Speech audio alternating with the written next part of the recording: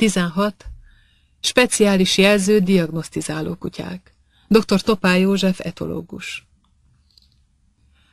Arra vonatkozó információim, hogy egyes kutyák képesek gazdájuk közelgő epilepsziás rohamát felismerni és jelezni, Angliából, baráti beszélgetésből származnak. Ezek szerint ma még csak kutatási részeredményekről lehet beszélni.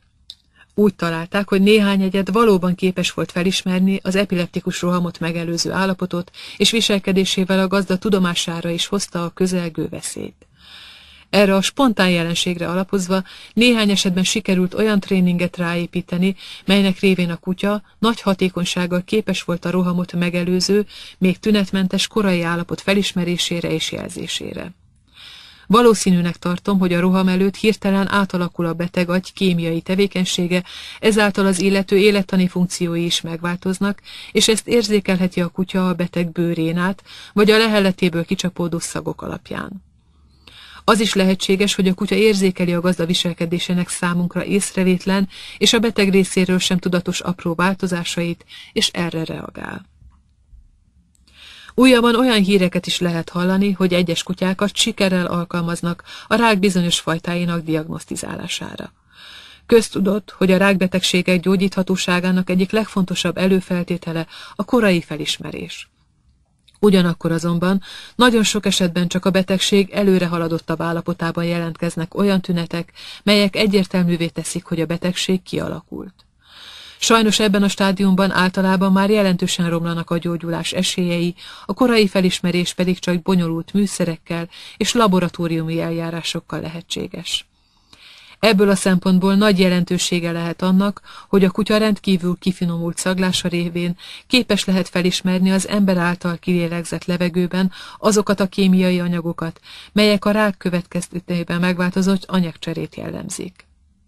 A módszer még kísérleti stádiumban van, de meg lehet, hogy elsősorban a tüdőrák diagnosztizálásában sikerül a kutya bevonásával költséges diagnosztikai módszereket helyettesíteni.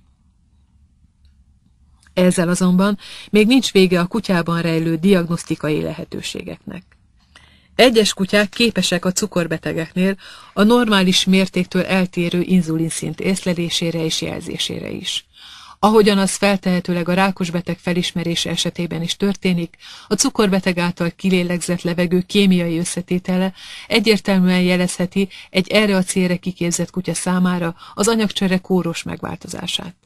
Ennek jelzése adott esetben életet is menthet, hiszen a súlyos cukorbetegségben szenvedők esetében akár végzetes is lehet, ha például elfelejtik beadni maguknak a szükséges inzulint. A kutyák kifinomult szaglása, az emberi viselkedésre való rendkívüli érzékenysége egyedülállóan alkalmasá teszi arra, hogy speciális kiképzéssel ilyenfajta egészségmegőrző szerepet is vállalhasson. Sajnos az még nagyon távoli lehetőség, hogy ilyen kutyákat nagy számban alkalmazzanak. Ennek oka, hogy még nem vagyunk pontosan tisztában azzal, milyen mechanizmusok révén ismeri fel a közelgő epileptikus rohamot, rákos állapotot, vagy a kórus inzulinszint eltérést a kutya. Márpedig ahhoz, hogy a kutyákat nagy számban lehessen kiképezni ilyen feladatokra, ezek az ismeretek elengedhetetlenek.